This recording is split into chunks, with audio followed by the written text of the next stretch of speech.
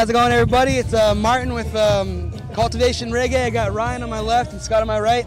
Uh, we, we just got done jamming over here at the Moat Marine Festival, Founders Park, and uh, a little rainy, but it missed us barely, and we did all right.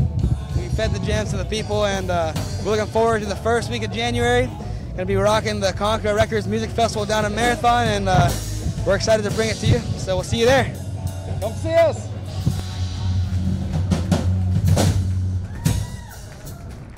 love.